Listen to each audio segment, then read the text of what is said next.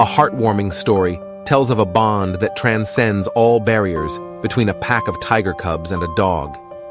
From a young age, the tiger cubs were raised and cared for by the dog, forming a special mother-child bond.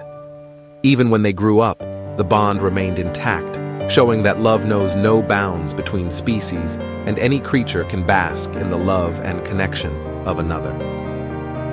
If this touched your heart too, subscribe